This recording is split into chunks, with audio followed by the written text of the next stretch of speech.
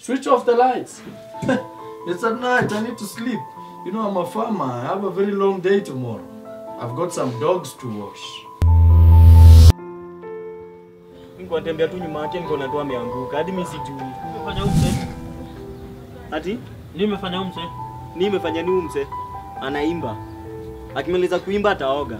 We ni maswali mengi uone ameumia. Sijauliza kwa baba. Tembeza.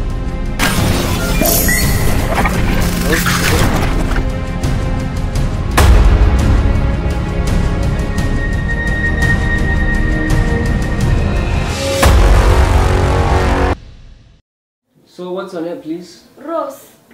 Rose, your husband has what we call cerebral malaria. So just in case it doesn't recognize you, just France lost the game once again. You know, this is so humiliating. I'm even wondering, what would they tell the president?